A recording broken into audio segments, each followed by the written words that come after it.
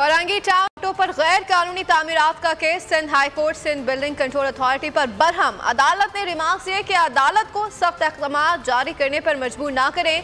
Justice Nadeem Akhtar और justice Zulfikar सांगे पर मुश्तमिल दो रुकनी बेंच ने केस की समात की। जस्टिस नदीम अख्तर ने रिमार्क दिए कि शहर में तमाम बेजाबतगियाँ एस बी सी ए की वजह से हैं।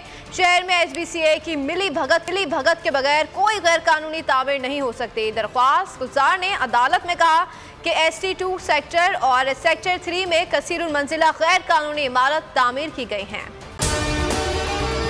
अगर आपको हमारी ये वीडियो पसंद आई है तो लाइक पर क्लिक कीजिए। देखें ये तो उनकी वालदा से इंशाल्लाह कराएँगे। अभी जो मुल्क की सूरत हाल है, वो आपके सामने हकीकी सहाफ़त का अशर शरीफ एक, मैं समझता हूँ, बहुत बड़ा हकीकी सहाफ़त का लंबरदार था और हक से एक इंच नहीं हटा। बल्कि जान देनी पड़ी तो जान दे दी उसने।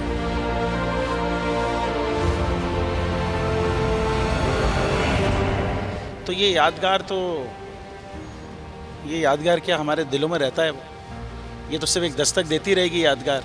मैं समझता हूँ कि जो रुके तो कोहे गिरा थे हम, जो चले तो जहाँ से गुजर गए।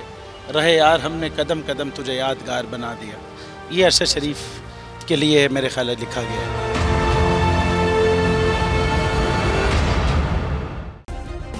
सब्सक्राइब करें और बेल दबाएँ ताकि कोई खबर रह न जाए।